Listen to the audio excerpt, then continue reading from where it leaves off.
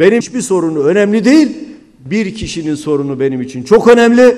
Ben Türkiye'yi gerekirse tek adama feda ederim mantığıyla yola çıkmış vaziyetteler.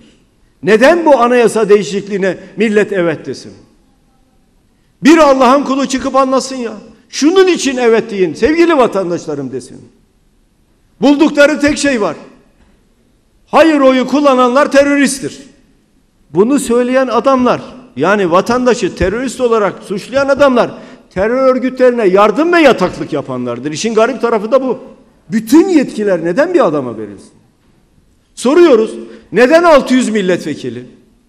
550 neyinize yetmiyor da 600 milletvekili? Neden milleti millet meclisinin fesih yetkisini veriyorsunuz? Taraflı cumhurbaşkanı. Hangi gerekçeyle cumhurbaşkanı taraflı olacak?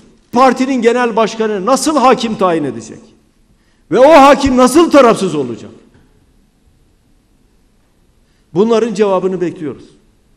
Bu kadar yetki bir kişiye verilemez arkadaşlar. Verilemez. Doğru da değildir. Nasıl bir anlayıştır ve nasıl bir maceranın içine Türkiye sürüklenmektedir? Bütün vatandaşların bunu bilmesini isterim. Annelere sesleniyorum.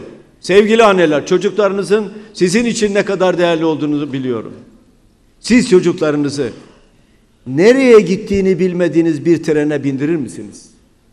Sonunun ne olacağını bilmediğiniz bir yolculuğa gönderir misiniz? Yoksa dağın ötesindeki felaketi görüp bugünden tedbir mi alırsınız? Onun için bu işin evet oyunun vebali ağırdır. Bakın bir daha söylüyorum. Evet oyunun vebali ağırdır. Çocuklarınıza, bayrağınıza, vatanınıza saygı duyuyorsanız bu işin tek yolu vardır. Bu kadar yetki bir kişiye verilmez. Hayır diyeceksiniz. Hayır oyu kullanmanın güzel bir huzuru vardır ve bereketi vardır. Bilinen yoldan dönmemek, o yolu sağlamlaştırmak, güzelleştirmek varken bilinmeyen bir yola neden bu milleti sürüklüyoruz? O nedenle bilinmeyen bir yola sürüklenmemek umuduyla hepinizi hayra davet ediyorum.